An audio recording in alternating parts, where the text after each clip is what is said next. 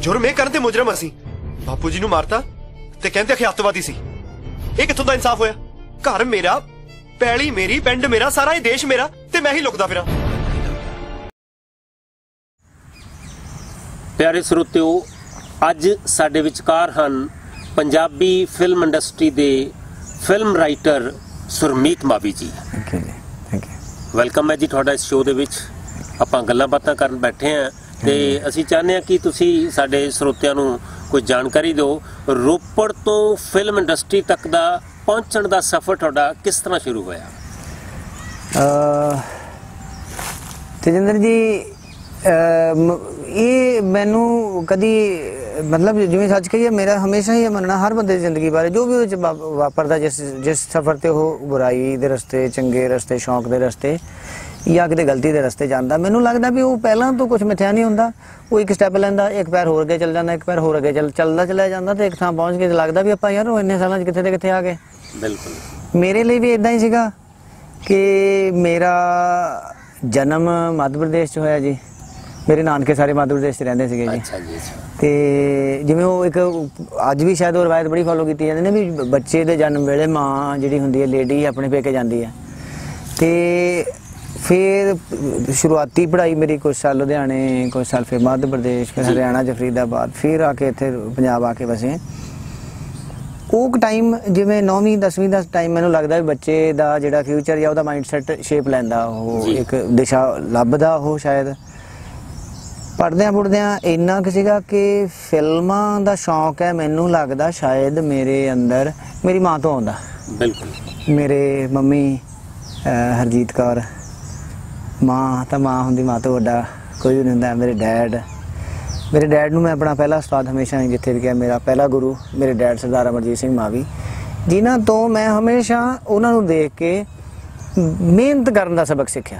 ਬਹੁਤ ਮਿਹਨਤ ਉਹ ਬਹੁਤ ਮਿਹਨਤੀ ਇਨਸਾਨ। ਕਿਸੇ ਵੀ ਕੰਮ ਦੇ ਵਿੱਚ ਮੇਰੇ ਖਿਆਲ ਸਭ ਤੋਂ ਪਹਿਲੀ ਰਿਕੁਆਇਰਮੈਂਟ ਮਿਹਨਤ ਹੀ ਹਾਂ ਜੀ ਹਾਂ ਜੀ ਹਾਂ। ਤੇ ਜਿਹੜਾ ਗੁਰੂ ਤੁਹਾਨੂੰ ਮਿਲਿਆ ਹੋਵੇ ਮੈਂ ਅਕਸਰ ਮੇਰੇ ਮੂੰਹੋਂ ਮੇਰੇ ਦੋਸਤ ਸੁਣਦੇ ਹੁੰਦੇ ਆ ਮੈਂ ਇੱਕ ਗੱਲ ਕਹਿਣਾ ਹੁੰਦਾ ਜਿਵੇਂ ਕਹਿਣ ਦੀ ਗੱਲ ਹੈ ਕਿ I don't believe in God I believe in my dad. ਮੇਰੇ ਲਈ ਪਰਮਾਤਮਾ ਉਸ। ਬਹੁਤ ਬਹੁਤ ਖੂਬ। ਤੇ ਉਹੀ ਮੇਰੇ ਪਹਿਲੇ ਗੁਰੂ ਵੀ ਨੇ। ਮੇਰੇ ਮਮਾ ਨੂੰ ਬੜਾ ਫਿਲਮਾਂ ਦਾ ਸ਼ੌਂਕ ਬੜਾ ਰਿਹਾ। ਆਪਣੇ ਟਾਈਮ ਦੇ ਫਿਲਮਾਂ ਦਾ ਉਹ ਐਨਸਾਈਕਲੋਪੀਡੀਆ ਨੇ ਕਦੀ ਉਹਨਾਂ ਨਾਲ ਅਸੀਂ ਮਿਲਣ ਤੇ ਗੱਲ ਕਰਾਂ ਵੈਸੇ ਮੈਂ ਤੁਹਾਡੀ ਗੱਲ ਵਿੱਚ ਹੀ ਟੋਕ ਰਿਹਾ। ਅੱਜ ਕੱਲ ਜਾਂ ਆਮ ਦੇਖਿਆ ਜਾਂਦਾ ਕਿ ਮਾਂ ਹੀ ਹੁੰਦੀ ਜਿਹੜੀ ਬੱਚੇ ਨੂੰ ਟੋਕਦੀ ਹੈ ਫਿਲਮਾਂ ਨਾ ਜ਼ਿਆਦਾ ਦੇਖਿਆ ਕਰ। ਪਰ ਤੁਹਾਡੇ ਮਦਰ ਜਿਹੜੇ ਤੁਹਾਨੂੰ ਕਹਿੰਦੇ ਰਹੇ ਕਿ ਫਿਲਮਾਂ ਨੂੰ ਤੁਹਾਨੂੰ ਮੋਟੀਵੇਟ ਕਰਦੇ ਰਹੇ। ਮੇਰੀ ਮਾਂ ਨੂੰ ਉਹਦੀ ਮਾਂ ਨੇ ਨਹੀਂ ਰੋਕਿਆ ਜੀ ਕਦੀ। ਮੇਰੇ ਨਾਨਾ ਨਾਨੀ। ਗੱਲ ਪਿੱਛੇ ਚਲੀ ਗਈ ਬਹੁਤ ਪਿੱਛੇ ਹੈ ਨਾ ਮੇਰੇ ਨਾਨਾ ਜੀ ਸੂਬੇਦਾਰ ਮਾਨ ਸਿੰਘ ਚਾਲ ਮੇਰੇ ਨਾਨੀ ਜੀ ਉਹ ਵੀ ਉਹ ਫਿਲਮਾਂ ਦੇਖਣ ਦੇ ਆਪਣੇ ਟਾਈਮ ਸ਼ੌਂਕੀ ਸੀਗੇ ਤੇ ਉਹਨਾਂ ਨੇ ਕਦੇ ਆਪਣੇ ਬੱਚਿਆਂ ਨੂੰ ਫਿਲਮਾਂ ਦਾ ਉਹ ਮੇਰੇ ਨਾਨੀ ਜੀ ਨੇ ਆਪਣੇ ਨੂੰਹਾਂ ਨੂੰ ਨਹੀਂ ਕਦੇ ਉਹ ਕਹਿੰਦੇ ਹੁੰਦੇ ਜਦੋਂ ਨਵੀਂ ਫਿਲਮ ਲੱਗਣੀ ਵੀ ਆ ਕੇ ਕਹਾਣੀ ਸੁਣਾਉਣਗੀਆਂ ਵੀ ਜਾਓ ਕੁੜੇ ਤੁਸੀਂ ਫਿਲਮ ਦੇਖ ਕੇ ਆਓ। ਵਾਹ ਜੀ ਵਾਹ। ਤੋ ਉੱਥੋਂ ਮੈਨੂੰ ਲੱਗਦਾ ਮੇਰੇ ਅੰਦਰ ਫਿਲਮਾਂ ਦੇਖਣ ਦਾ ਮੈਂ ਕਦੀ ਮੈਨੂੰ ਸੋਚਿਆ ਨਹੀਂ ਸੀਗਾ ਵੀ ਮੈਂ ਫਿਲਮਾਂ 'ਚ ਜਾਣਾ ਆ। ਹਾਂ ਫਿਲਮਾਂ ਦੇਖਣ ਦਾ ਬਹੁਤ ਸ਼ੌਂਕ ਸੀਗਾ। ਫਿਰ ਡੈਡ ਨੇ ਵਿਦੇਸ਼ 'ਚ ਬਹੁਤ ਨੌਕਰੀਆਂ ਕੀਤੀਆਂ। ਇੱਕ ਵਾਰੀ ਉਹ ਮੇਰੇ ਖਿਆਲ ਸ਼ਾਇਦ ਮੈਂ 6ਵੀਂ 7ਵੀਂ ਸੀਗਾ। ਉਹ VCP ਆਉਂਦਾ ਸੀ ਵੀਡੀਓ ਕੈਸੇਟ ਪਲੇਅਰ VCRs ਦਾ ਸਮਾਂ ਸੀਗਾ। Video VCR video cassette recorders players VCP ਆਇਆ ਤੇ ਬੜੀਆਂ ਫਿਲਮਾਂ ਫਿਰ ਅਸੀਂ ਦੇਖਦੇ ਸੀਗੇ। ਉਹ ਮੈਨੂੰ ਫਿਲਮਾਂ ਇੱਕ ਜਾਦੂ ਜਿਹਾ ਲੱਗਦਾ ਹੁੰਦਾ ਸੀ। ਮੈਂ ਗਵਾਚ ਜਾਂਦਾ ਹੁੰਦਾ ਸੀ ਫਿਲਮਾਂ 'ਚ। ਸ਼ਾਇਦ ਉਹ ਕਿਤੇ ਉਹ ਸ਼ੁਰੂਆਤ ਸੀਗੀ ਇਸ ਸ਼ੌਂਕ ਦੀ। ਫਿਰ ਇਹ 9ਵੀਂ 10ਵੀਂ ਦੇ ਟਾਈਮ ਵਿੱਚ ਹੌਲੀ ਹੌਲੀ ਮੈਨੂੰ ਮੇਰੀ ਹਮੇਸ਼ਾ ਮੈਂ ਹਮੇਸ਼ਾ ਇੱਕ ਗੱਲ ਮੰਨ ਕੇ ਚੱਲਦਾ ਹਰ ਇਨਸਾਨ ਨੂੰ ਮੰਨਣੀ ਚਾਹੀਦੀ ਵੀ ਜਿੱਥੇ ਵੀ ਉਹ ਹੈਗਾ ਉਹ ਆਪਣੇ ਗੁਰੂਆਂ ਦੀ ਬਦੌਲਤ ਹੈ। ਮੈਨੂੰ ਟੀਚਰਸ ਬੜੇ ਚੰਗੇ ਮਿਲਦੇ ਚਲੇ ਗਏ। ਸਕੂਲ ਦੇ ਵਿੱਚ ਤੁਹਾਡੇ ਤਾਂ ਉਹਨਾਂ ਨਾਲ ਮੈਨੂੰ ਤੁਹਾਡੇ ਨਾਲ ਬਹਿਣਾ ਇਸ ਕਰਕੇ ਚੰਗਾ ਲੱਗਦਾ। ਹੈ। ਮਨੂਰ ਲਾਲ ਚੋਪੜਾ ਜੀ ਸਾਡੇ ਹੈਡਮਾਸਟਰ ਸੀਗੇ। ਤੁਸੀਂ ਗਾਂਧੀ ਸਕੂਲ ਚ ਹੀ ਪੜ੍ਹੇ ਰੋਪੜ ਜੀ ਹਾਂ ਜੀ ਹਾਂ ਜੀ ਪਿਆਰੇ ਸਰੋਤਿਓ ਰੋਪੜ ਦਾ ਇੱਕ ਸਕੂਲ ਹੈ Gandhi memorial national high school ਉੱਥੋਂ ਹੀ ਇਹਨਾਂ ਨੇ ਆਪਣੀ ਪੜ੍ਹਾਈ ਦਾ ਸਫ਼ਰ ਸ਼ੁਰੂ ਕੀਤਾ ਤੇ ਉਹੀ ਗੱਲਾਂ ਬਾਤਾਂ ਤੁਹਾਡੇ ਨਾਲ ਕਰ ਰਹੇ ਨੇ। ਹਾਂਜੀ। ਹਾਂਜੀ। ਤੇ ਕੈਮਰੇ ਦੇ ਪਿੱਛੇ ਰਜੇਸ਼ ਚੋਪੜਾ ਅਸੀਂ ਪਿਆਰ ਨਾਲ ਸੋਨੂੰ ਕਹਿੰਦੇ ਆ ਅਸੀਂ ਅਸੀਂ ਦੋਨੋਂ ਇਕੱਠੇ ਪੜ੍ਹਦੇ ਰਹੇ ਆ ਵਾਹ ਜੀ। ਤੇ ਉੱਥੇ ਚੋਪੜਾ ਸਰ ਇੱਕ ਸਾਡੇ ਗਿਆਨੀ ਸਰ ਹੁੰਦੇ ਸੀ ਪੰਜਾਬੀ ਪੜਾਉਂਦੇ ਸ਼ਾਸਤਰੀ ਜੀ ਹਿੰਦੀ ਵਾਲੇ। ਉਹ ਟੀਚਰਸ ਇਤਫਾਕਨ ਇਦਾਂ ਵਧੀਆ ਮਿਲਦੇ ਚਲੇ ਗਏ। ਅੱਗੇ ਚੱਲ ਕੇ ਮੈਂ ਕਾਲਜ ਪੜ੍ਹਨ ਆਇਆ। ਤੇ ਮੇਰੇ ਅੱਜ ਕਈ ਦੋਸਤ ਕਹਿੰਦੇ ਕਹਿੰਦੇ ਯਾਰ ਤੇਰੇ ਤੋਂ ਕਦੀ ਕਦੀ ਸਾਨੂੰ ਨਾ ਈਰਖਾ ਹੁੰਦੀ ਹੈ ਵੀ ਤੂੰ ਭੂਸ਼ਣ ਕੋਲੇ ਪੜਿਆ ਪ੍ਰੋਫੈਸਰ ਭੂਸ਼ਣ ਧਿਆਨਪੁਰੀ ਜੀ ਮੇਰੇ ਗੁਰੂ। ਮਤਲਬ ਉਹ ਗੁਰੂ ਜਿਨ੍ਹਾਂ ਦਾ ਇੱਕ ਕਿਣਕਾ ਮੈਂ ਸਾਰੀ ਜ਼ਿੰਦਗੀ ਫਾਲੋ ਕਰਦਾ ਆਇਆ ਮੈਂ ਤੇ। ਇੱਥੇ ਗੱਲ ਦੱਸਦਾ ਮੈਂ ਵੀ ਉਹਨਾਂ ਦਾ ਚੇਲਾ ਜੀ ਮੈਂ ਵੀ ਉਹਨਾਂ ਉਹਨਾਂ ਨੂੰ ਅੱਜ ਨਮਨ ਕਰਦੇ ਆਪਾਂ ਮਹਾਨ ਮਹਾਨ ਨੇ ਜੀ। ਭੂਸ਼ਣ ਕੋਈ ਹੋਰ ਨਹੀਂ ਤਾਂ ਭੂਸ਼ਣ ਧਿਆਨਪੁਰੀ ਜੀ ਵਰਗੇ ਟੀਚਰ ਮਿਲ ਗਏ। ਫਿਰ ਪ੍ਰੋਫੈਸਰ ਜਦੋਂ ਮੈਂ ਸ਼ੁਰੂ ਪੜ੍ਹਨਾ ਸ਼ੁਰੂ ਕੀਤਾ ਪ੍ਰੋਫੈਸਰ ਅਤੈ ਸਿੰਘ ਉਹਨਾਂ ਦਾ ਮੇਰੇ ਤੇ ਪ੍ਰਭਾਵ ਪਿਆ। ਮੇਰੇ ਪੜ੍ਹਨ ਤੋਂ 2 ਸਾਲਾਂ ਬਾਅਦ ਪ੍ਰੋਫੈਸਰ ਤੈ ਸਿੰਘ ਬਦਲ ਕੇ ਆ ਗਏ ਸੀ। ਨਾਟਕ ਦੇ ਨਾਲ। ਨਾਟਕ ਦੇ ਨਾਲ ਆਏ ਉਹ ਉਹ। ਤੇ ਨਾਲ ਇੱਕ ਬਹੁਤ ਵੱਡਾ ਯੋਗਦਾਨ ਮੇਰੀ ਜ਼ਿੰਦਗੀ ਸੀਗਾ ਵੀ ਅੱਜ ਵੀ ਜੇ ਉਹ ਦੇਖ ਰਹੇ ਹੋਣਗੇ ਮੈਨੂੰ ਫੇਰ ਇੱਕ ਵਾਰੀ ਪ੍ਰਣਾਮ। ਸੋਸ਼ਲ ਮੀਡੀਆ ਤੇ ਸਾਰੇ ਜਾਣਦੇ ਨੇ ਕਿ ਮੈਂ ਮੇਰੇ ਗੁਰੂਆਂ ਚੋਂ ਇੱਕ ਜਸਵੀਰ ਸ਼ਮੀਲ। ਜਸਮੀਰ ਸ਼ਮੀਲ। ਜਸਵੀਰ ਸ਼ਮੀਲ ਸਾਡੇ ਰੋਪੜ ਜ਼ਿਲ੍ਹੇ ਤੋਂ ਹੀ ਹੈ। ਉਹ ਸਾਡੇ ਕਾਲਜ ਚ ਸੀਨੀਅਰ ਸੀਗੇ। ਇਹ government college Ropar? Government college. Ropar ਹਾਂਜੀ। ਜਦੋਂ ਮੈਂ 11ਵੀਂ ਚ ਉਦੋਂ 11ਵੀਂ 12ਵੀਂ ਆਰਟਸ ਦੀ ਹੁੰਦੀ ਸੀਗੀ ਕਾਲਜਾਂ 'ਚ ਵੀ ਹੁੰਦੀ ਸੀ। ਹਾਂ ਪਲੱਸ 1 ਪਲੱਸ 2 ਕਾਲਜ ਸ਼ਮੀਲ ਬਾਜੀ ਉਦੋਂ ਬੀਏ ਸੈਕੰਡ ਇਅਰ ਸੀ ਉਦੋਂ ਉਹਨਾਂ ਦੀ ਪਹਿਲੀ ਕਵਿਤਾ ਆਈ ਸੀ ਇੱਕ ਛਿੰਡ ਦੀ ਵਾਰਤਾ ਕਮਾਲ ਦੇ ਕਵੀ ਮੈਨੂੰ ਉਹਨਾਂ ਨੂੰ ਮੈਂ ਆਪਣਾ ਮੈਂਟਰ ਮੰਨ ਲਿਆ। ਉਹ ਬਹੁਤ ਅੱਛਾ।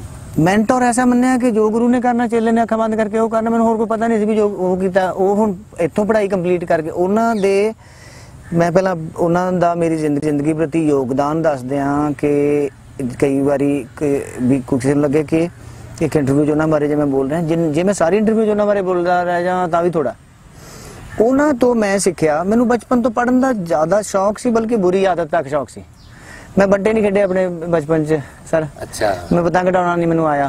ਮੈਨੂੰ ਪੜਨ ਦਾ ਪਤਾ ਨਹੀਂ ਕੀ ਕੀੜਾ ਸੀ ਟੈਕਸਟ ਬੁੱਕਸ ਜਿਹੜੀਆਂ ਮੈਨੂੰ ਆਪਣੇ ਵੱਡੇ ਭਰਾ ਭੈਣ ਦੀਆਂ ਹਾਸਲ ਹੋ ਜਾਣੀਆਂ ਫਿਰ ਕਾਮਿਕਸ ਦਾ ਬੜਾ ਯੋਗਦਾਨ ਹੈ। ਕਾਮਿਕਸ ਤੋਂ ਮੇਰਾ ਸਫ਼ਰ ਸ਼ੁਰੂ ਹੋਇਆ। ਇੱਥੇ ਗੱਲ ਟੋਕ ਰਿਹਾ ਤੁਸੀਂ ਜ਼ਿਆਦਾ ਰੁਝਾਨ ਲਿਟਰੇਚਰ ਪੜ੍ਹਦੇ ਸੀ ਸਾਹਿਤ ਪੜ੍ਹਦੇ ਸੀ ਜਾਂ ਕੀ ਕਿਸ ਤਰ੍ਹਾਂ ਦਾ ਸੀ ਤੁਹਾਡਾ?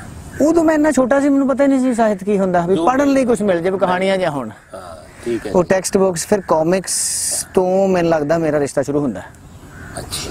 ਕਾਮਿਕਸ ਤੋਂ ਅੱਗੇ ਫਿਰ ਇੱਕ ਪਾਕਟ ਬੁੱਕਸ ਆਉਂਦੀਆਂ ਹੁੰਦੀਆਂ ਸੀਗੀਆਂ। ਉਹ ਇੱਕ ਰਾਜਨ ਇਕਬਾਲ ਸੀਰੀਜ਼ ਹੁੰਦਾ ਸੀਗਾ ਡਿਟੈਕਟਿਵ ਜਿਹਾ। ਬੱਚਿਆਂ ਉਹ ਇੱਕ ਤਰ੍ਹਾਂ ਦਾ ਬੱਚਿਆਂ ਦੇ ਨੋਵਲਟਸ ਹੁੰਦੇ ਸੀਗੇ। ਫਿਰ ਅੱਗੇ ਚੱਲ ਕੇ ਬੜੀ ਛੋਟੀ ਉਮਰ 'ਚ ਮੈਨੂੰ ਨਾਵਲ ਛੋਟੀਆਂ ਕਿਤਾਬਾਂ ਨਾਲ ਜਿਵੇਂ ਕਹ ਲਓ ਮੈਨੂੰ ਰੱਜ ਨਹੀਂ ਸੀ ਆਉਂਦਾ ਹੁੰਦਾ ਤੇ ਫਿਰ ਮੈਂ Ved Prakash Sharma James Hadley Chase ਇਦਾਂ ਦੇ ਸੁਰਿੰਦਰ ਮੋਹਨ ਪਾਠਕ ਮੈਂ ਛੋਟੇ ਹੁੰਦੇ ਉਹ ਪੜ੍ਹਨ ਲੱਗ ਗਿਆ। ਫਿਰ ਅੱਗੇ ਚੱਲ ਕੇ ਇਹ ਪਲਪ ਫਿਕਸ਼ਨ ਆ ਜਿਹੜਾ ਉਹ ਵੀ ਇੱਕ ਸ਼ੇਪ ਦਿੰਦਾ ਹੈ ਇੱਕ ਇਨਸਾਨ ਹਾਂ, ਨੂੰ ਲਿਟਰੇਚਰ ਨਾਲ ਪੁੱਲ ਉਹੀ ਹੈ ਮੇਰਾ। man who reads well, he can write well. This is the Yeah. phenomena. ਤੋ ਉਹ ਪੁਲ ਬਣਿਆ। ਫਿਰ ਮੈਨੂੰ ਹੌਲੀ ਹੌਲੀ ਲਿਟਰੇਚਰ ਪਤਾ ਲੱਗਾ ਕਿ ਲਿਟਰੇਚਰ ਨਾਮ ਦੀ ਸ਼ੈ ਹੁੰਦੀ ਹੈ। ਫਿਰ ਮੁਨਸ਼ੀ ਪ੍ਰੇਮਚੰਦ ਦਾ ਨਾਮ ਮੈਂ ਸਭ ਤੋਂ ਪਹਿਲਾਂ ਸੁਣਿਆ। ਉਹ ਪਪੂਲਰ ਵੀ ਉਨੇ ਹੀ ਹੋਏ ਲਿਟਰੇਚਰ 'ਚ ਜਿੰਨੇ ਮਹਾਨ ਲੇਖਕ ਸੀਗੇ। ਬਿਲਕੁਲ। ਅੱਗੇ ਚੱਲ ਕੇ ਸ਼ਮੀਲ ਬਾਜੀ ਦੇ ਨਾਲ ਮੈਨੂੰ ਇਹ ਹੋਇਆ, ਉਹਨਾਂ ਨੇ ਜਿਵੇਂ ਬੱਚੇ ਨੂੰ ਕੋਈ ਉਂਗਲ ਫੜ ਕੇ ਤੁਰਨਾ ਸਿਖਾਉਂਦਾ, ਉਹ ਮੈਨੂੰ ਕਾਲਜ ਦੀ ਲਾਇਬ੍ਰੇਰੀ 'ਚ ਲਿਜਾ ਲਿਜਾ ਕੇ ਉਹਨਾਂ ਨੂੰ ਦੱਸਿਆ, ਪੜ੍ਹਨਾ ਕੀ ਕੀ ਹੈ? ਫਿਰ ਉਹਨਾਂ ਨੇ ਮੈਨੂੰ ਪੰਜਾਬੀ ਦਾ ਲਿਟਰੇਚਰ ਹੋਰ ਬਹੁਤ ਸਾਰੀਆਂ ਕਿਤਾਬਾਂ, ਮੈਨੂੰ ਹਿੰਦੀ 'ਚ ਫਨੀਸ਼ਵਰ ਦਾਤ ਰੇਣੂ ਰਾਂਗੇ ਰਾਘਵ ਰਾਹੀ ਮਾਸੂਮ ਰਜ਼ਾ ਕਦੀ ਨਾ ਪਤਾ ਲੱਗਦਾ ਮੈਨੂੰ ਨਾਨਕ ਸਿੰਘ, ਜਸਵੰਤ, ਕੰਵਲ, ਗੁਰਬਚਨ ਭੁੱਲਰ, ਕਰਨਲ ਨਰਿੰਦਰਪਾਲ ਭੁੱਲਰ, ਇਹ ਕਦੀ ਨਾ ਪਤਾ ਲੱਗਦਾ ਜੇ ਮੇਰੀ ਜ਼ਿੰਦਗੀ ਸ਼ਮੀਲ ਬਾਜੀ ਨਾ ਆਏ ਹੁੰਦੇ। ਤੁਹਾਡਾ ਜਿਹੜਾ ਬਚਪਨ ਦਾ ਸਮਾਂ ਅਹ, ਕਿਤਾਬਾਂ ਦੇ ਵਿੱਚ ਜਾਂ ਕਿਤਾਬਾਂ ਦੇ ਢੇਰ ਦੇ ਵਿੱਚ ਹੀ ਤੁਸੀਂ ਘੁੰਮਦੇ ਫਿਰਦੇ ਰਹੇ ਪੜ੍ਹਦੇ ਹਾਂਜੀ। ਰਹੇ ਤੇ ਹਾਂਜੀ। ਸਿੱਖਦੇ ਰਹੇ ਇੰਜੋਏ ਵੀ ਕਰਦੇ ਰਹੇ ਹਾਂਜੀ। ਅੱਜ ਦਾ ਬਚਪਨ ਜਿਹੜਾ ਹੈ ਉਹ ਮੋਬਾਈਲ ਦੇ ਵਿੱਚ ਟੈਕਸਟਿੰਗ ਤੇ ਜੁੜਿਆ ਹੋਇਆ ਹੈ ਪਰ ਤੁਸੀਂ ਉਸ ਟਾਈਮ ਦੇ ਬਚਪਨ ਨੂੰ ਕਿਸ ਤਰ੍ਹਾਂ ਕੰਪੇਅਰ ਕਰਦੇ ਹੋ ਔਰ ਤੁਹਾਡੇ ਤੇ ਉਹਦਾ ਬੜਾ ਇੰਪੈਕਟ ਗਿਆ ਤੇ ਮੇਰੇ ਹਾਂਜੀ। ਖਿਆਲ ਅੱਜ ਦੇ ਜਿਹੜੇ ਅਹ, ਬੱਚੇ ਨੇ ਇਹ ਚੀਜ਼ਾਂ ਨੂੰ ਲੂਜ਼ ਕਰ ਰਹੇ ਨੇ ਮੈਂ ਹੂਬਹੂ ਉਦਾਂ ਨਹੀਂ ਮੰਨਦਾ ਜਿਵੇਂ ਆਪਾਂ ਇੱਕ ਸਿੰਪਲ ਨੋਸ਼ਨ ਲੈ ਲੈਨੇ ਜੀ ਜਿਵੇਂ ਮੈਂ ਬੱਚਿਆਂ ਨੂੰ ਦੇਖਦਾ ਹੁਣ ਮੇਰੇ ਵੇਲੇ ਕਿਤਾਬਾਂ ਤੇ ਰੇਡੀਓ ਸੀ। ਜਾਂ ਫਿਰ ਅੱਗੇ ਚੱਲ ਕੇ ਟੀਵੀ ਆਇਆ। ਰੇਡੀਓ ਵੀ ਟਿਊਬਾਂ ਵਾਲਾ। ਹਾਂਜੀ ਹਾਂਜੀ। ਤੇ ਟੀਵੀ ਸੀਗਾ। ਟੀਵੀ ਸਾਡੀ ਸੋਜੀ ਜੀ ਚ ਆ ਗਿਆ ਸੀਗਾ। ਤੇ ਉਹ ਉਹ ਸੀਗਾ। ਅੱਜ ਬੱਚਿਆਂ ਕੋਲੇ ਮੋਬਾਈਲ ਫੋਨ ਦੇ ਉੱਤੇ ਜਿਵੇਂ ਮੈਂ ਅਸੀਂ ਸਿਨੇਮਾ ਟੀਵੀ ਤੇ ਦੇਖਦੇ ਸੀਗੇ। ਸੰਡੇ ਨੂੰ ਇੱਕ ਫਿਲਮ ਆਉਂਦੀ ਸੀਗੀ। ਅੱਜ ਬੱਚਿਆਂ ਕੋਲੇ Netflix Amazon Prime ਉਹ ਹੈ ਸਭ ਹੈਗਾ। ਮਿਊਜ਼ਿਕ ਉਹ ਐਪਸ ਦੇ ਉੱਤੇ ਸੁਣ ਰਹੇ ਨੇ। ਮੈਨੂੰ ਲੱਗਦਾ ਵੀ ਟੈਕਨੀਕ ਜਾਂ ਟੈਕਨੋਲੋਜੀ ਜਿਹੜੀ ਆ ਰਹੀ ਹੈ ਉਹ ਸ਼ੌਕ ਨੂੰ ਪੂਰਾ ਕਰਨ ਦੇ ਜ਼ਰੀਏ ਬਦਲ ਰਹੇ ਨੇ। ਮੈਨੂੰ ਕਦੀ ਇਦਾਂ ਨਹੀਂ ਲੱਗਿਆ ਕਿ ਇਹ ਬਚਪਨ ਉਦਾਂ ਦਾ ਨਹੀਂ ਹੈ ਜਾਂ ਉਨੀ ਉਹਨਾਂ ਪਰ ਵੈਲਿਊ ਵੈਲਿਊਏਬਲ ਚੀਜ਼ਾਂ 'ਚ ਸਮਾਂ ਨਹੀਂ ਲਾ ਰਿਹਾ। ਆਪਣੀ ਤਰ੍ਹਾਂ ਨਾਲ ਮੈਨੂੰ ਇਹ ਸਰ, ਮੈਂ ਓਨੈਸਟਲੀ ਮੇਰਾ ਓਪੀਨੀਅਨ ਇਹੀ ਹੈ, ਗਲਤ ਹੋ ਸਕਦਾ। ਕਿ ਉਹੀ ਪੜਨਾ ਸ਼ਾਇਦ, ਜਿਵੇਂ ਆਪਾਂ ਇੰਟਰਵਿਊ ਤੋਂ ਪਹਿਲਾਂ ਗੱਲ ਕਰ ਰਹੇ ਸੀਗੇ, ਕਿ ਹੁਣ ਉਹ ਅੰਗਰੇਜ਼ੀ ਸ਼ਾਇਦ ਜ਼ਿਆਦਾ ਪੜ ਰਹੇ ਨੇ। ਸਾਡਾ ਸ਼ੌਂਕ ਸੀ ਜਦੋਂ ਸਾਨੂੰ ਅੰਗਰੇਜ਼ੀ ਆਈ, ਅਸੀਂ ਵੀ ਸੋਚਿਆ ਕਿ ਵਰਲਡ ਦਾ ਲਿਟਰੇਚਰ ਪੜ੍ਹੀਏ। ਦੂਜੀਆਂ ਭਾਸ਼ਾਵਾਂ ਦੇ ਤਰਜਮੇ ਪੜ੍ਹੇ ਬਿਲਕੁਲ। ਲਿਖਿਆ ਸ਼ਾਇਦ ਉਹਦੇ ਚ ਭਾਸ਼ਾਵਾਂ ਬਦਲ ਰਹੀਆਂ ਭਾਸ਼ਾਵਾਂ ਜਿਹੜਾ ਗਲੋਬਲੀ ਪੂਰੀ ਦੁਨੀਆ ਬਦਲ ਰਹੀ ਹੈ ਉਹ ਚੇਂजेस ਨੇ ਜਿਹੜੇ ਸ਼ਾਇਦ ਉਹ ਡਿਸਟਿੰਕਸ਼ਨਸ ਨਾ ਖਤਮ ਹੋਣ ਸਾਡੇ ਕਲਚਰਸ ਦੀਆਂ ਬਸ। ਇੱਕ ਵੱਖਰਾਪਣ ਇੱਕ ਨਵੇਕਲਾਪਣ ਨਾ ਖਤਮ ਹੋਵੇ। ਇੱਕ ਸਾਂਝਾ ਕਲਚਰ ਤਾਂ ਆਉਣਾ ਹੀ ਸੀ। ਸੋ ਅੱਜ ਦੇ ਬੱਚਿਆਂ ਦਾ ਮੈਨੂੰ ਲੱਗਦਾ ਵੀ ਉਹ ਵੀ ਠੀਕ ਹੈ। ਸਾਡੇ ਕੋਲ ਹੈ ਨਹੀਂ ਸੀ ਸ਼ਾਇਦ ਨਹੀਂ ਅਸੀਂ ਵੀ ਪਬਜੀ ਖੇਡਦੇ ਹੀ ਟਾਈਮ ਖਰਾਬ ਕਰਦੇ ਸੀ। ਬਿਲਕੁਲ ਤੁਸੀਂ ਸਹੀ ਫਰਮਾਇਆ। ਮੈਂ ਗੱਲ ਨੂੰ ਫੇਰ ਤੋਰਦਾ ਤੁਸੀਂ ਅੱਜ ਇੱਕ ਬਤੌਰ ਫਿਲਮ ਰਾਈਟਰ ਐਸਟੈਬਲਿਸ਼ਡ ਹੋ। ਫਿਲਮ ਇੰਡਸਟਰੀ ਚ ਪੰਜਾਬੀ ਦੀ ਮੇਰੇ ਖਿਆਲ ਕੋਈ ਮੂਵੀ ਸ਼ਾਇਦ ਹੀ ਮੈਂ ਦੇਖੀ ਹੋਗੀ ਜਿਸ ਦੇ ਵਿੱਚ ਤੁਸੀਂ ਕਿਸੇ ਨਾ ਕਿਸੇ ਰੂਪ ਚ ਡਾਇਲੌਗ ਰਾਈਟਿੰਗ ਕਰ ਰਹੇ ਹੋ, ਚਾਹੇ ਤੁਸੀਂ ਸਕ੍ਰਿਪਟ ਰਾਈਟਿੰਗ ਕਰ ਰਹੇ ਹੋ। ਕਾਫੀ ਵੱਡੀਆਂ ਵੱਡੀਆਂ ਮੈਂ ਕਿਸ ਕਿਸ ਕਿਸ ਮੂਵੀ ਦਾ ਨਾਮ ਲਵਾਂ। ਮੈਂ 1900 ਚ ਪੰਜਾਬ 1984 ਦੀ ਗੱਲ ਕਰਦਾ, ਤੁਸੀਂ ਉਸ ਚ ਬੜਾ ਅੱਛਾ ਕੰਮ ਕੀਤਾ। ਹੋਰ ਵੀ ਬੜੀਆਂ ਮੂਵੀਜ਼ ਦੇ ਵਿੱਚ, ਅਣਗਿਣਤ ਮੂਵੀਜ਼ ਦੇ ਵਿੱਚ ਤੁਸੀਂ ਲਿਖ ਰਹੇ ਹੋ। ਕਹਿੰਦੇ ਵੀ ਜਦੋਂ ਇੱਕ ਥਾਂ ਤੇ ਬੰਦਾ ਪਹੁੰਚਦਾ ਤਾਂ ਮੈਂ ਤੁਹਾਡੀ ਇੱਕ ਝਾਤ ਪਿੱਛੇ ਵਜਾਣੀ ਚਾਹਨਾ ਕਿ ਇਹ ਸਫ਼ਰ ਦੇ ਵਿੱਚ ਕਿਹੜੀ ਕਿਤਾਬ ਸੀ ਜਿਸ ਨੇ ਤੁਹਾਨੂੰ ਜੀਵਨ ਦੇ ਵਿੱਚ ਬਹੁਤ ਜ਼ਿਆਦਾ ਪ੍ਰਭਾਵਿਤ ਕੀਤਾ ਤੇ ਕਿਹੜੇ ਰਾਈਟਰ ਨੇ? ਹਾਲਾਂਕਿ ਹੈ ਬੜਾ ਮੁਸ਼ਕਲ ਜਿਹੜਾ ਕੱਢਣਾ, ਕਿਸੇ ਵੀ ਸਾਹਿਤਿਕ ਸਰਗਰਮੀਆਂ ਨਾਲ ਜੁੜੇ ਹੋਏ ਪਰਸਨੈਲਿਟੀ ਵਿਅਕਤੀ ਦੇ ਲਈ। ਪਰ ਫਿਰ ਵੀ ਮੈਂ ਪੁੱਛਣਾ ਚਾਹਾਂਗਾ ਕਿ ਤੁਹਾਡੇ ਦਿਲ ਦੇ ਕਰੀਬ ਕਿਹੜੀ ਕਿਹੜੀ ਚੀਜ਼ ਰਹੀ ਹੈ? ਲਿਟਰੇਚਰ ਦੀ, ਸਾਹਿਤ ਦੀ ਕਿਹੜੀ ਚੀਜ਼, ਕਿਹੜੀ ਕਿਤਾਬ, ਕਿਹੜਾ ਲੇਖਕ ਤੁਹਾਡੇ ਦਿਲ ਦੇ ਕ- ਕਰੀਬ ਰਿਹਾ? ਥੋੜਾ ਟੇਡਾ ਸਵਾਲ ਤਾਂ ਹੈਗਾ ਹੀ ਹੈ ਜੀ ਬਿਲਕੁਲ ਤੁਸੀਂ ਮੇਰੇ ਖਿਆਲ ਸ਼ਾਇਦ ਮੈਨੂੰ ਟੇਡਾ ਟੇਡਾ ਸਵਾਲ ਕਰਨ ਦੇ ਚੱਕਰ 'ਚ ਟੇਡਾ ਹੋ ਗਿਆ। ਕੋਈ ਨਹੀਂ ਇਹ ਇਹ ਨਹੀਂ, ਲੇਕਿਨ ਟੇਡੇ ਮੇਰੀ ਪਤਾ ਕੀ ਇੱਛਾ ਹੈ। ਮੇਰੀ ਕੁਝ ਆਪਣਾ ਵੀ ਇਹ ਟੇਸਟ ਹੈ ਤੇ ਮੈਂ ਆਪਣੇ ਸਰੋਤਿਆਂ ਨੂੰ ਵੀ ਦੱਸਣਾ ਚਾਹੁੰਦਾ ਵੀ ਕਿਤਾਬਾਂ ਦਾ ਅਸਰ ਕਿਸ ਤਰ੍ਹਾਂ ਹੁੰਦਾ ਇਨਸਾਨ ਦੇ ਉੱਤੇ। ਮੈਂ ਉਹ ਉਸ ਬੈਕਗ੍ਰਾਉਂਡ ਨੂੰ ਜ਼ਿਹਨ 'ਚ ਰੱਖਦੇ ਹੋਏ ਵੀ ਕਿਸ ਤਰ੍ਹਾਂ ਬੁੱਕਸ ਜਿਹੜੀਆਂ ਕਾਲੇ ਅੱਖਰ ਚਿੱਟੇ ਸਫੇ ਕਿਸ ਤਰ੍ਹਾਂ ਕਿਸੇ ਵਿਅਕਤੀ ਨੂੰ ਪ੍ਰਭਾਵਿਤ ਕਰਦੇ ਆ। ਤਾਂ ਉਹਦੇ ਸੰਦਰਭ ਦੇ ਵਿੱਚ ਮੈਂ ਪੁੱਛਣਾ ਚਾਹੁੰਦਾ ਵੀ ਕਿਹੜਾ ਰਾਈਟਰ ਤੁਹਾਡਾ? ਰਾਈਟਰ ਕਹਿ ਲਓ ਵੀ ਕਿਤਾਬ ਮੈਂ ਇੱਕ ਦੋ ਕੁ ਹੋਰ ਕਿਤਾਬਾਂ ਦਾ ਜ਼ਿਕਰ ਕਰਦਾ ਜਿੱਥੇ ਮੈਂ ਮੈਂ ਪਹੁੰਚਣਾ ਵੀ ਜਿਹੜੀ ਮੇਰੀ ਫੇਵਰਿਟ ਕਿਤਾਬ ਮੈਂ ਬਿਨਾ ਅੱਖਾਂ ਬੰਦ ਕਰਕੇ ਹਮੇਸ਼ਾ ਨਾਮ ਲੈ ਸਕਦਾ ਉਸ ਕਿਤਾਬ ਦਾ। ਉਹਦੀ ਥੋੜੀ ਜਿਹੀ ਭੂਮਿਕਾ ਹੈ ਕਿ ਪਹਿਲਾਂ ਪੜ੍ਹਨਾ ਮੈਨੂੰ ਕੋਈ ਰੀਜ਼ਨ ਨਹੀਂ ਸੀ ਪੜ੍ਹਨਾ ਮੇਰੀ ਆਦਤ ਸੀਗੀ।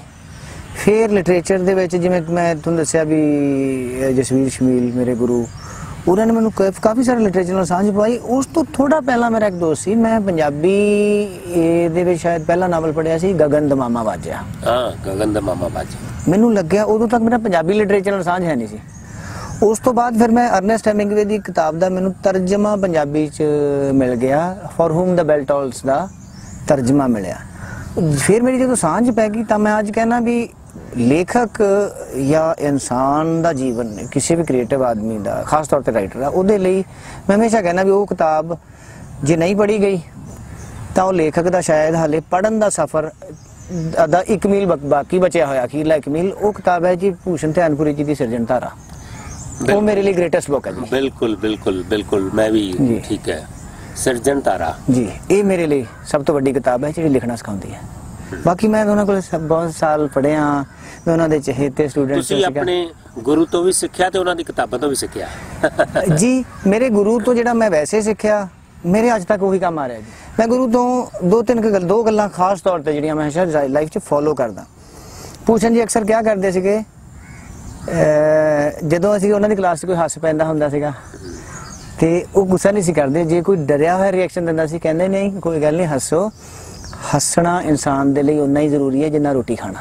ਹਾਂ ਬਿਲਕੁਲ। ਖੁਸ਼ ਰਹਿਣਾ ਇੱਕ ਤਾਂ ਕਿਸੇ ਕ੍ਰੀਏਟਿਵ ਆਦਮੀ ਦਾ ਖੁਸ਼ ਰਹਿਣਾ ਸਭ ਤੋਂ ਪਹਿਲੀ ਜ਼ਰੂਰੀ ਗੱਲ ਹੈ।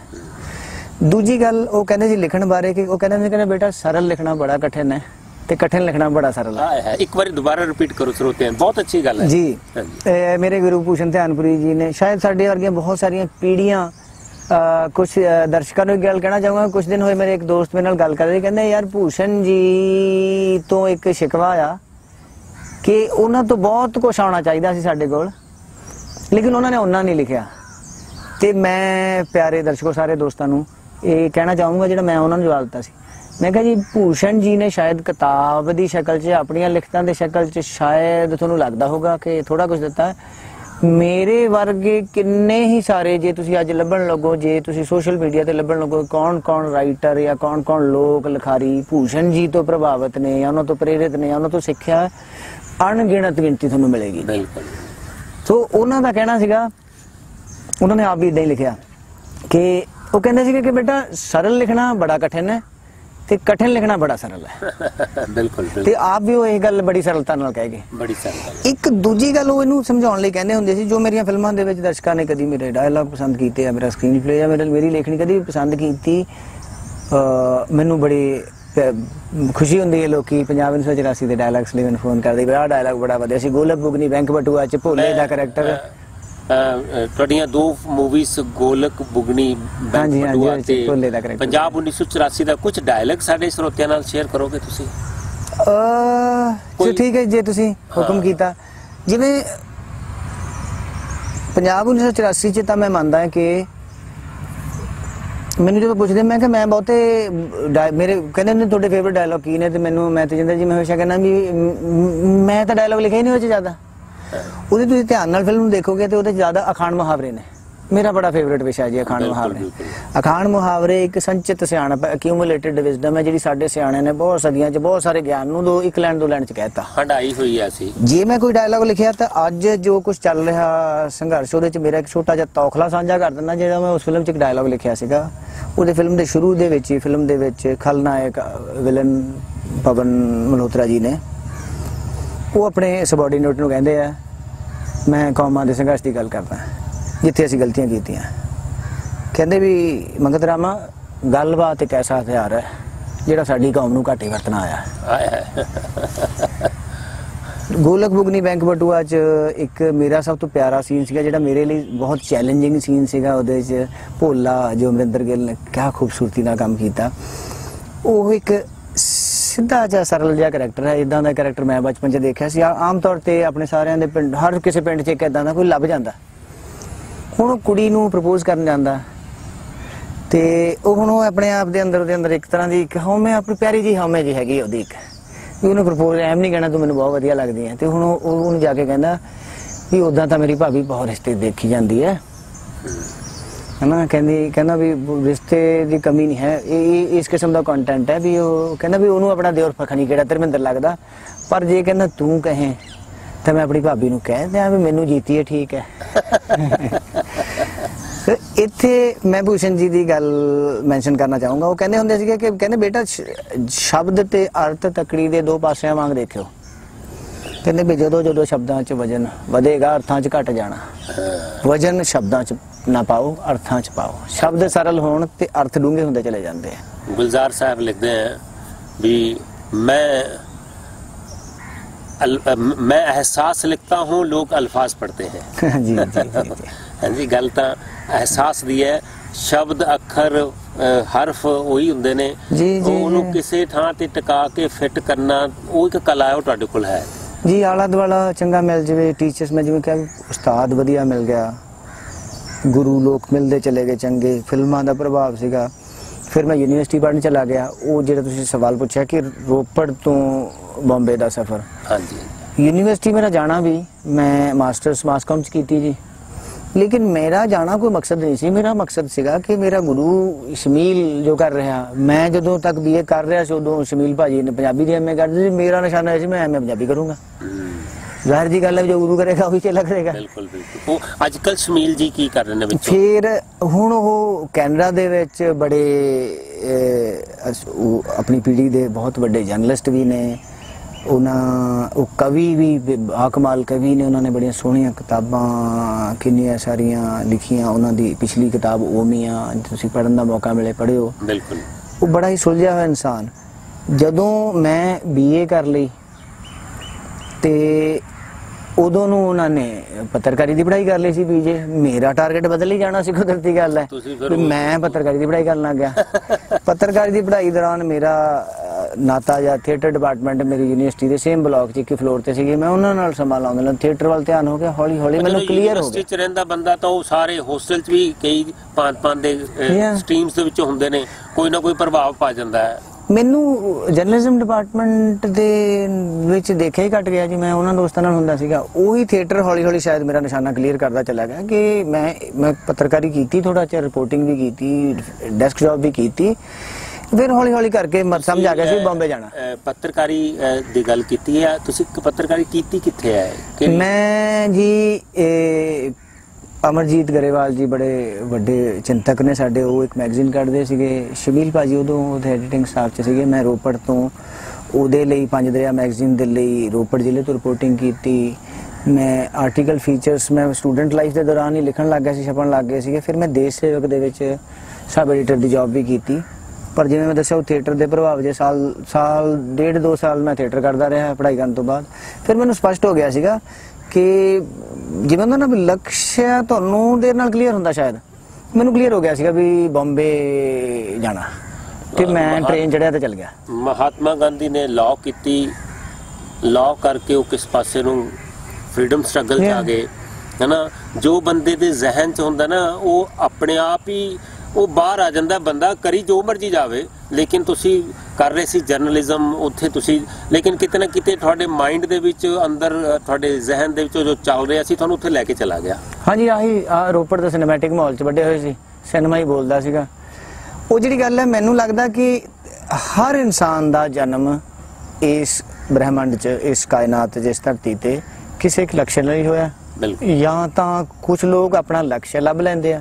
ਕੁਝ ਲੋਕਾਂ ਨੂੰ ਲਕਸ਼ ਲੱਭ ਲੈਂਦਾ ਸ਼ਾਇਦ ਮੈਨੂੰ ਲਕਸ਼ ਨਹੀਂ ਲੱਭਿਆ। ਮੈਨੂੰ ਨਹੀਂ ਸੀ ਪਤਾ ਮੈਂ ਕੀ ਕਰਨਾ greatness is thrust upon some people ਜਾਂ ਨਹੀਂ ਗ੍ਰੇਟਨੈਸ ਤਾਂ ਨਹੀਂ। ਸੋ ਇਹ ਫਿਲਮਾਂ ਤੱਕ ਦਾ ਸਫ਼ਰ ਸੀਗਾ। ਫਿਲਮਾਂ ਤੱਕ ਮਤਲਬ ਬੰਬੇ ਤੱਕ ਦਾ। ਬੰਬੇ ਦੇ ਵਿੱਚ ਜਾ ਕੇ ਮੈਂ ਕੁਝ ਸਾਲ ਡਾਇਰੈਕਸ਼ਨ 'ਚ ਕੰਮ ਕੀਤਾ।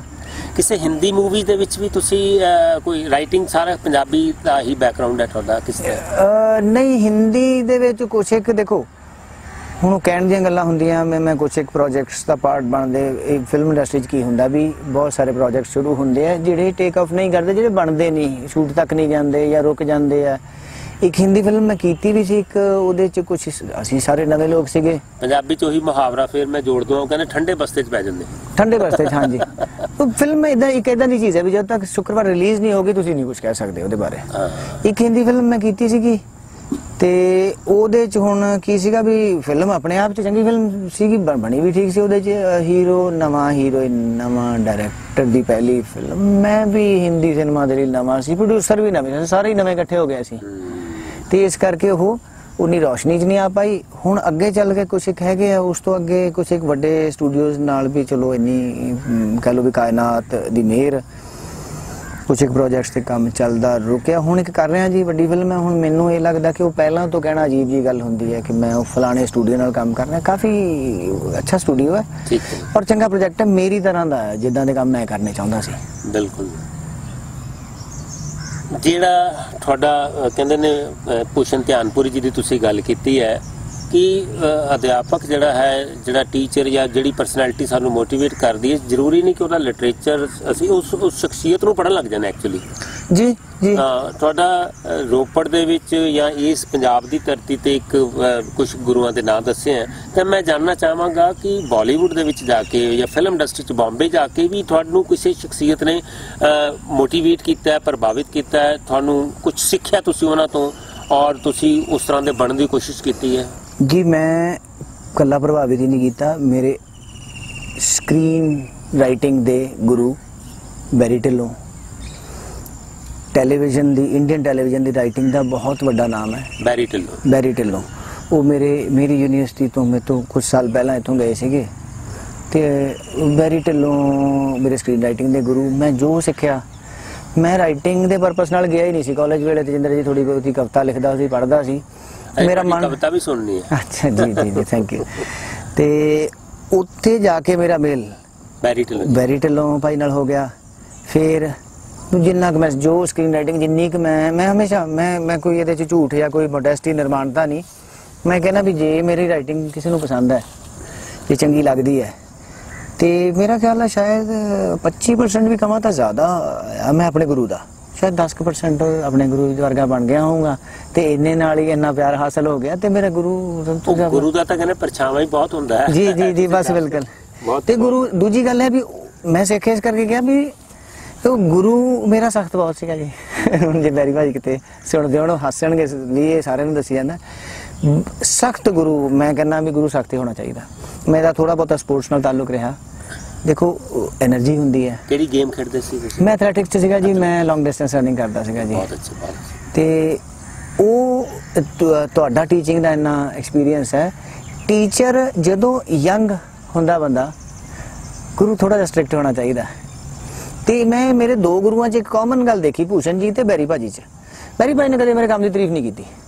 ਉਹ ਕਮੀਆਂ ਜ਼ਰੂਰ ਮੈਨੂੰ ਮੈਂਸ਼ਨ ਕਰਦੇ ਵੀ ਆਹ ਨਹੀਂ ਆਹ ਤੂੰ ਗਲਤ ਆ ਗਲਤ ਆ ਉਹਨਾਂ ਨੇ ਚੰਗਾ ਮੈਨੂੰ ਪਹਿਲੀ ਵਾਰ ਮੇਰੀ ਫਿਲਮ ਦੇਖਣ ਤੋਂ ਬਾਅਦ ਪੰਜਾਬ 1984 ਤੋਂ ਬਾਅਦ ਬਹੁਤ ਸਾਲ ਹੋ ਗਏ ਸੀ ਮੈਨੂੰ ਇੰਡਸਟਰੀ 'ਚ। ਪਹਿਲੀ ਵਾਰੀ ਉਹਨਾਂ ਨੇ ਉਦੋਂ ਤਾਰੀਫ ਕੀਤੀ।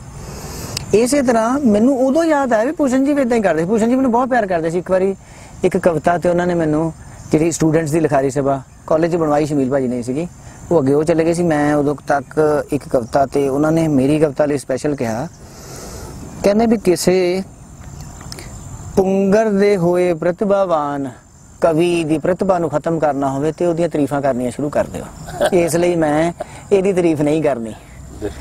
ਤੇ ਮੈਨੂੰ ਉਦੋਂ ਲੱਗਿਆ ਵੀ ਠੀਕ ਹੈ ਗੁਰੂ ਮੈਨੂੰ ਚੰਗੇ ਵੀ ਮਿਲੇ ਔਰ ਉਹ ਨਾ ਗੁਰੂਆਂ ਨੂੰ ਸਿਖਾਉਣਾ ਵੀ ਬਹੁਤ ਬਖੂਬੀ ਆਉਂਦਾ ਸੀ। ਕਹਿੰਦੇ ਨੇ ਕਿ ਗੁਰੂ ਜਿਹੜਾ ਹੈ ਉਹ ਇੱਕ ਬਦਾਮ ਦੀ ਗਿਰੀ ਵਾਂਗ ਹੁੰਦਾ ਹੈ। ਉੱਪਰੋਂ ਬੇਸ਼ੱਕ ਇੱਕ ਕਠੋਰ ਹੁੰਦਾ ਅੰਦਰੋਂ ਮਿੱਠਾ ਤੇ ਨਰਮ ਹੁੰਦਾ ਉਹ। ਉਹ ਚੇਲੇ ਨੂੰ ਵੀ ਪਤਾ ਹੁੰਦਾ ਜੀ।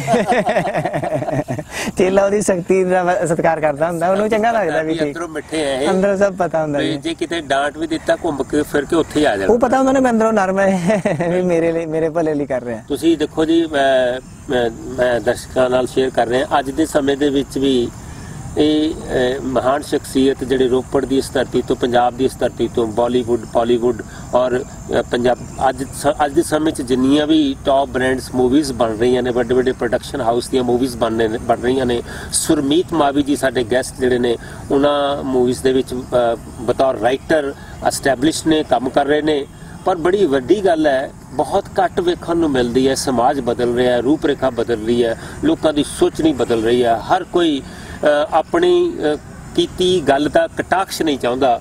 ਕੋਈ ਚਾਹੁੰਦਾ ਨਹੀਂ ਕਿ ਮੈਨੂੰ ਕੋਈ ਫੀਡਬੈਕ ਵੀ ਦੇਵੇ। ਤਾਂ ਇਹ ਬੜੇ ਪਿਆਰ ਦੇ ਨਾਲ ਆਪਣੇ ਅਧਿਆਪਕਾਂ ਨੂੰ ਯਾਦ ਕਰ ਰਹੇ ਨੇ ਔਰ ਇਹ ਨਜ਼ਰੀਆ ਇਹਨਾਂ ਇਸ ਸ਼ਖਸੀਅਤ ਦਾ ਕਿ ਤੁਸੀਂ ਇੰਨਾ ਸਨਮਾਨ ਦੇ ਰਹੇ ਹੋ ਆਪਣੇ ਟੀਚਰਸ ਦੇ ਲਈ।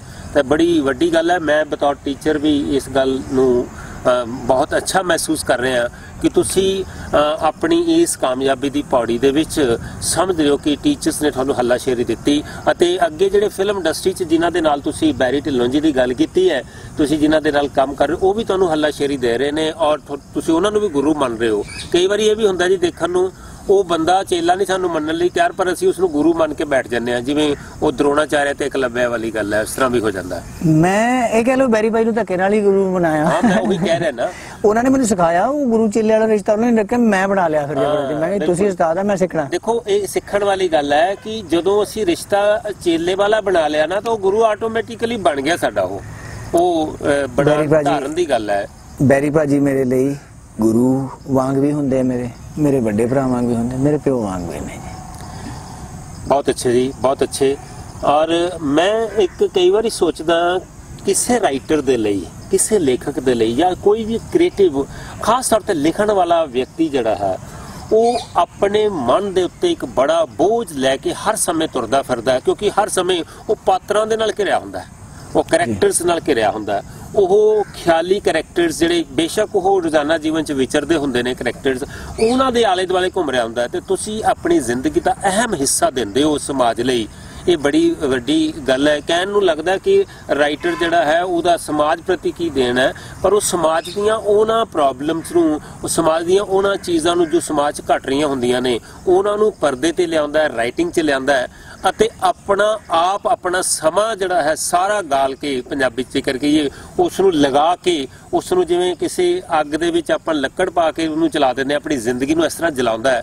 ਕਦੀ ਕਦੀ ਆਪਣੇ ਆਪ ਨੂੰ ਸੰਸਾਰ ਤੋਂ ਕਟਿਆ ਕਟਿਆ ਵੀ ਮਹਿਸੂਸ ਕਰਦੇ ਹੋ ਨਾ ਪਾਤਰਾਂ ਦੇ ਵਿੱਚ ਹੀ ਰੁੱਝੇ ਰਹਿੰਦੇ ਹੋ ਮਹਿਸੂਸ ਹੁੰਦਾ ਹੈ ਬਰਡਨ ਕਦੀ ਜਾਂ ਕੀ ਇੰਜੋਏ ਕਰਦੇ ਹੋ ਕੀ ਫੀਲ ਕਰਦੇ ਹੋ? ਇਹ ਹੁਣ ਇਸ ਗੱਲ ਦੇ ਦੋ ਤਿੰਨ ਹਿੱਸੇ ਤਿੰਨ ਚਾਰ ਹਿੱਸੇ ਦੇਖ ਲੈਣੇ ਵੀ ਉਹ ਕਟਿਆ ਕਟਿਆ ਵਾਲਾ ਤਾਂ ਨਹੀਂ। ਮੈਨੂੰ ਲੱਗਦਾ ਕਿ ਮੈਂ ਕਟਿਆ ਨਾਲੋਂ ਸਗੋਂ ਜ਼ਿਆਦਾ ਕਈ ਵਾਰੀ ਨਹੀਂ ਮੇਰਾ ਮਤਲਬ ਕਈ ਵਾਰ ਤੁਹਾਨੂੰ ਇਸ ਤਰ੍ਹਾਂ ਲੱਗਦਾ ਕਿ ਅੱਜ ਮੈਂ ਲਿਖਣਾ ਨਹੀਂ ਹੈ ਅੱਜ ਮੈਂ ਆਪਣਾ ਸਮਾਂ ਇੰਜੋਏ ਕਰਨਾ ਹੈ। ਉਹ ਫਿਰ ਉਹ ਅਸਲ 'ਚ ਜਿਵੇਂ ਤੁਸੀਂ ਕਿਹਾ ਨਾ ਵੀ ਲੇਖਕ ਦੇਖਦਾ ਆ ਉਹ ਲੇਖਕ ਦੇਖਦਾ ਕਿਤੇ ਇੰਟੈਂਸ਼ਨਲੀ ਨਹੀਂ ਦੇਖਦਾ ਉਹਦੀ ਅੰਦਰੂਨੀ ਬਣਤਰ ਇਹ ਜੀ ਹੁੰਦੀ ਹੈ। ਹਨਾ ਮਨ ਰੁਝਿਆ ਰਹਿੰਦਾ ਹੈ। ਤੇ ਜਦੋਂ ਸੋਚੀਦਾ ਵੀ ਹੁਣ ਰਾਈਟਰ ਬੰਦਾ ਆ ਕਿ ਮੈਂ ਅੱਜ ਲਿਖਣਾ ਨਹੀਂ ਹੈ ਮੈਂ ਇੰਜੋਏ ਕਰਨਾ ਉਹਨੇ ਇੰਜੋਏ ਵੀ ਇਹੀ ਕਰਨਾ ਉਹਨੇ ਦੇਖਣਾ ਆਲੇ ਦੁਆਲੇ।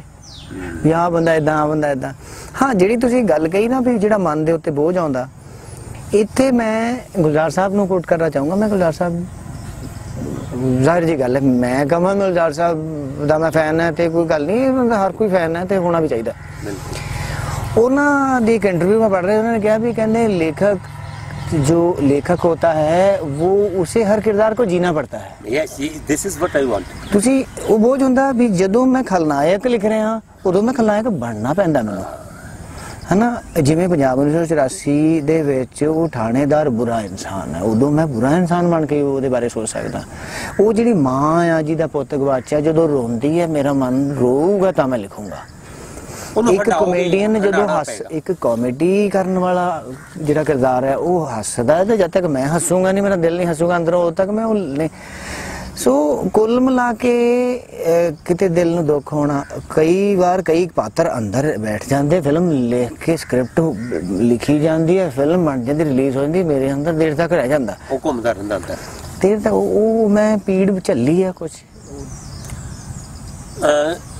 ਅਹ ਆਵੀ ਸਾਹਿਬ ਇੱਕ ਅੱਜ ਦੇ ਸਮੇਂ 'ਚ ਦੇਖ ਰਹੇ ਹਾਂ ਅਸੀਂ ਕਿ ਫਿਲਮ ਇੰਡਸਟਰੀ ਦੇ ਵਿੱਚ ਬਾਲੀਵੁੱਡ 'ਚ ਤਾਂ ਖਾਸ ਤੌਰ ਤੇ ਉਹ ਮਿਸਿੰਗ ਹੈ ਟੈਲੀਵਿਜ਼ਨ ਸੀਰੀਅਲ 'ਚ ਤਾਂ ਹੈ ਹੀ ਨਹੀਂ ਸ਼ੁਰੂ ਹੀ ਨਹੀਂ ਹੋਇਆ। ਖਤਮ ਹੋਣ ਦੀ ਕੀ ਗੱਲ ਹੈ? ਪੰਜਾਬੀ ਫਿਲਮਾਂ ਦੇ ਵਿੱਚ ਉਹ ਚੀਜ਼ ਹੈ ਕਿ ਜਿਵੇਂ ਅਸੀਂ ਕੁਝ ਪਾਤਰ ਹੈ ਸਾਡੇ ਖਾਸ ਪਾਤਰ। ਮਤਲਬ ਇੱਕ ਮੋਚੀ ਹੈ ਜਿਵੇਂ ਤਰਖਾਨ ਹੈ ਹੱਥੀਂ ਕੰਮ ਕਰਨ ਵਾਲਾ ਇੱਕ ਸਾਈਕਲ ਰਿਪੇਅਰ ਕਰਨ ਵਾਲਾ ਛੋਟਾ ਪਾਤਰ ਹੈ। ਜੀ।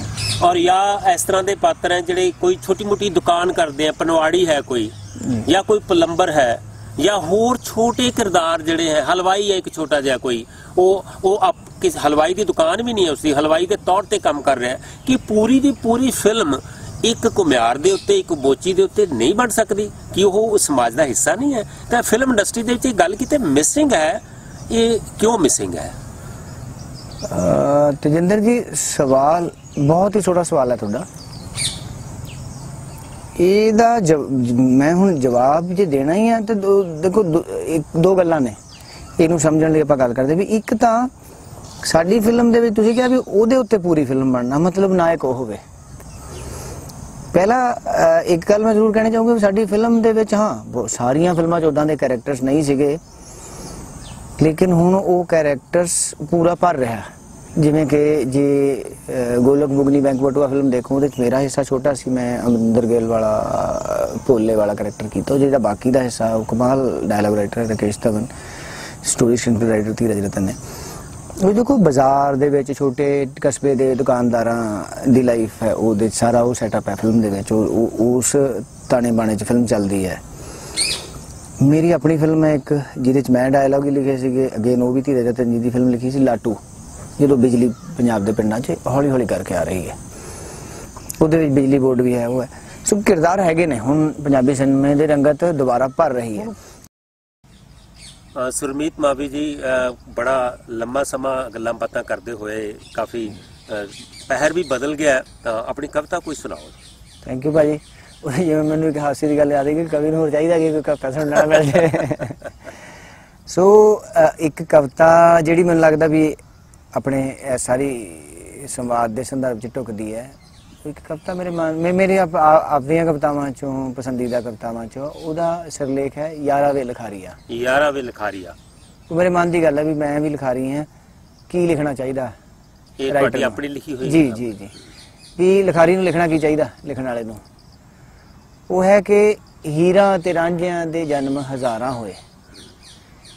ਹੀਰਾ ਤੇ ਰਾਂਝਿਆਂ ਦੇ ਜਨਮ ਹਜ਼ਾਰਾਂ ਹੋਏ ਉਹਨਾਂ ਦੀਆਂ ਪ੍ਰੀਤਾਂ ਬਾਰੇ ਗੀਤ ਲਿਖੀ ਦੋਸਤਾ ਪੂਰਨ ਦੇ ਵਾਂਗੂ ਪੁੱਤ ਜੋਗੀ ਹੋਏ ਮਾਵਾਂ ਦੇ। ਜੋਗੀਆਂ ਦੇ ਗੀਤਾਂ ਬਾਰੇ ਗੀਤ ਲਿਖੀ ਦੋਸਤਾ ਬਹੁਤ ਅੱਛੀ ਬਹੁਤ ਅੱਛੀ। ਤੇ ਫੁੱਲ ਜਿਹੜੇ ਖਾ ਲੇ ਖੁਦ ਵਾੜ ਨਹੀਂ ਉਹਨਾਂ ਬਾਰੇ। ਫੁੱਲ ਜਿਹੜੇ ਖਾ ਲੇ ਖੁਦ ਵਾੜ ਨਹੀਂ ਉਹਨਾਂ ਬਾਰੇ ਲੁੱਟ ਲਏ ਜਿਹੜੇ ਸਰਕਾਰ ਨੇ ਹੀ ਉਹਨਾਂ ਬਾਰੇ। ਬਹੁਤ ਅੱਛੀ। ਰੋਟੀ ਦੀ ਲੜਾਈ ਜਿਨ੍ਹਾਂ ਲੜੀ ਧੀਆਂ ਪੁੱਤਾਂ ਲਈ ਕੋਝੀਆਂ ਕੁਰੀਤਾਂ ਬਾਰੇ ਗੀਤ ਲਿਖੀ ਦੋਸਤਾ ਵਾਹ ਬਹੁਤ ਅੱਛੀ। ਤੇ ਅਗਲਾ ਬੰਦ ਹੈ ਕਿ ਆਪਣਾ ਬਣਾ ਕੇ ਜਿਹੜੇ ਝੂਠ ਬੋਲ ਠੱਗ ਗਏ। ਆਪਣਾ ਬਣਾ ਕੇ ਜਿਹੜੇ ਝੂਠ ਬੋਲ ਠੱਗਦੇ ਆਪਣਾ ਬਣਾ ਕੇ ਜਿਹੜੇ ਝੂਠ ਬੋਲ ਠੱਗ ਗਏ ਕਿਹੜੀ ਮਜਬੂਰੀ ਸੀ ਜੋ ਯਾਰ ਸਾਥ ਛੱਡ ਗਏ? ਆਪਣਾ ਬਣਾ ਕੇ ਜਿਹੜੇ ਝੂਠ ਬੋਲ ਠੱਗ ਗਏ ਕਿਹੜੀ ਮਜਬੂਰੀ ਸੀ ਜੋ ਯਾਰ ਸਾਥ ਛੱਡ ਗਏ? ਘਰ ਛੱਡ ਲੋਕੀ ਪਰਦੇਸਾਂ ਨੂੰ ਕਿਉਂ ਭੱਜ ਗਏ? ਕੁਝ ਨਿੱਗੇ ਕੁਝ ਠੰਡੇ ਸੀਤ ਲਿਖੀ ਦੋਸਤਾ। ਵਾਹ। ਤੇ ਫੇਰ ਕਦੇ ਵੇਲ ਮਿਲੇ। ਫੇਰ ਕਦੇ ਵੇਲ ਮਿਲੇ ਜਾਂ ਜੇ ਤੇਰਾ ਮਨ ਕਰੇ ਸ਼ਬਦਾਂ ਦੇ ਸਾਗਰਾਂ ਚੋਂ ਲੱਪ ਕਸਿਆਈ ਸਰੇ। ਵਾਹ। ਫੇਰ ਕਦੇ ਵੇਲ ਮਿਲੇ ਜਾਂ ਜੇ ਤੇਰਾ ਮਨ ਕਰੇ ਸ਼ਬਦਾਂ ਦੇ ਸਾਗਰਾਂ ਚੋਂ ਲੱਪ ਕੇ ਸਿਆਹੀ ਸਰੇ। ਥੱਕ ਰਹੇ ਆਦਮੀ ਦੇ ਮਰ ਰਹੇ ਮਨ ਬਾਰੇ। ਹੁਣ ਨਾ ਪਛਾਣੇ ਜਾਂਦੇ ਪਹਿਲਾਂ ਹੀ ਵਾਲੇ ਚੰਨ ਬਾਰੇ। ਵਾਹ। ਕਿਵੇਂ 부ਝੀ ਜ਼ਿੰਦਗੀ ਚੋਂ ਪ੍ਰੀਤ ਲਿਖੀ ਦੋਸਤਾ? ਬਹੁਤ ਅੱਛੇ ਬਹੁਤ ਅੱਛੇ। ਥੈਂਕ ਯੂ ਤੇ ਆਖਰੀ ਬੰਦ ਹੈ ਕਿ ਜੀ ਮੇਰੀ ਭਾਵੇਂ ਨਾ ਵੀ ਮੰਨੀ। ਮੇਰੀ ਭਾਵੇਂ ਨਾ ਵੀ ਮੰਨੀ। ਮੇਰੀ ਭਾਵੇਂ ਨਾ ਵੀ ਮੰਨੀ ਮਨ ਦੀ ਜ਼ਰੂਰ ਮੰਨੀ। ਮੇਰੀ ਭਾਵੇਂ ਨਾ ਵੀ ਮੰਨੀ ਮਨ ਦੀ ਜ਼ਰੂਰ ਮੰਨੀ। ਜਦੋਂ ਵੀ ਲਿਖੇ ਤੂੰ ਸੱਚੇ ਗੀਤ ਲਿਖੀ ਦੋਸਤਾ। ਬਹੁਤ ਅੱਛੇ। Thank you ji thank you ਇਹ ਸਨ ਸੁਰਮੀਤ ਮਾਵੀ ਜੀ ਬਹੁਤ ਅੱਛੇ ਕਵਿਤਾ ਇਹਨਾਂ ਨੇ ਸੁਣਾਈ, ਬੜੇ ਵੱਡੇ ਰਾਈਟਰ ਨੇ, ਪੰਜਾਬੀ ਫਿਲਮ ਇੰਡਸਟਰੀ ਦੇ ਵਿੱਚ ਬੜਾ ਨਾਮ ਖੱਟਿਆ ਇਹਨਾਂ ਨੇ ਔਰ ਸਾਡੇ ਸ਼ਹਿਰ ਤੋਂ ਨੇ ਔਰ ਇਹਨਾਂ ਦਾ ਪਿਛੋਕੜ ਪੰਜਾਬ ਤੋਂ ਨੇ, ਪੰਜਾਬ ਤੋਂ ਹੈ ਤੇ ਅੱਜ ਇਹ ਬਾਲੀਵੁੱਡ ਦੇ ਵਿੱਚ ਪੂਰੇ ਇੱਕ ਐਸਟੈਬਲਿਸ਼ਡ ਫਿਲਮ ਰਾਈਟਰ ਦੇ ਤੌਰ ਤੇ ਨੇ। ਅੱਜ ਅਸੀਂ ਇਹਨਾਂ ਨਾਲ ਗੱਲਾਂ ਬਾਤਾਂ ਕੀਤੀਆਂ। ਇਸ ਤਰ੍ਹਾਂ ਦੀ ਸ਼ਖਸੀਅਤ ਦੇ ਨਾਲ ਅਗਲੇ ਐਪੀਸੋਡ ਦੇ ਵਿੱਚ ਤੁਹਾਨੂੰ ਫੇਰ ਮਿਲਾਂਗੇ। ਧੰਨਵਾਦ। ਸ਼ੁਕਰੀਆ ਜੀ। ਥੈਂਕ ਯੂ ਜੀ। ਮੈਂ ਖਾਸ ਤੌਰ ਤੇ ਤਜਿੰਦਰ ਜੀ ਤੁਹਾਡਾ ਬੱਲੇ ਬੱਲੇ ਰੇਡੀਓ ਦਾ ਧੰਨਵਾਦ ਕਰਨਾ ਚਾਹੁੰਦਾ ਕਿ ਇਹ ਜਿਹੜੇ ਦਰਸ਼ਕ, ਸਰੋਤੇ, ਜਿਹੜੇ ਫਿਲਮਾਂ ਨੂੰ ਸਾਡੇ ਕੰਮ ਨੂੰ ਪਿਆਰ ਦਿੰਦੇ ਆ, ਇਹਨਾਂ ਤੋਂ ਸਾਡਾ ਸਾਰੀ ਜ਼ਿੰਦਗੀ ਚੱਲਦੀ ਹੈ। ਘਰ ਚੱਲਣਾ ਇੱਕ ਬਹੁਤ ਛੋਟੀ ਗੱਲ ਹੈ। ਇਹਨਾਂ ਤੋਂ ਸਾਡਾ ਆਰਥਿਕਤਾ ਵੀ ਜੁੜੀ ਹੈ ਤੇ ਸਾਰੀ ਦੀ ਸਾਰੀ ਖੁਸ਼ੀ ਜਦੋਂ ਸਾਡੇ ਕੰਮ ਨੂੰ ਪਿਆਰ ਮਿਲਦਾ, ਅਸੀਂ ਹੋਰ ਵਧੀਆ ਕਰਨ ਦੀ ਕੋਸ਼ਿਸ਼ ਕਰਦੇ ਹਾਂ। ਤੁਹਾਡਾ ਬਹੁਤ ਬਹੁਤ ਸ਼ੁਕਰੀਆ ਜੋ ਇਹਨਾਂ ਦਰਸ਼ਕਾਂ ਦਾ ਬਹੁਤ ਬਹੁਤ ਸ਼ੁਕਰੀਆ ਜਿਨ੍ਹਾਂ ਨੇ ਟਾਈਮ ਕੱਢ ਕੇ ਮੇਰੇ ਲਈ ਟਾਈਮ ਕੱਢ ਕੇ ਅੱਜ ਦੇ ਬਿਜ਼ੀ ਲਾਈਫ ਦੇ ਵਿੱਚੋਂ ਸੁਣਿਆ। ਤੁਸੀਂ ਜ਼ਰੀਆ ਬਣੇ। ਮੇਰਾ ਨਾਲ ਗੱਲ ਕਰਦਾ। ਥੈਂਕ ਯੂ ਸੋ ਮਚ ਬਹੁਤ- ਬਹੁਤ ਮਿਹਰਬਾਨੀ ਜੀ। ਬਹੁਤ ਸ਼ੁਕਰੀਆ। Thank you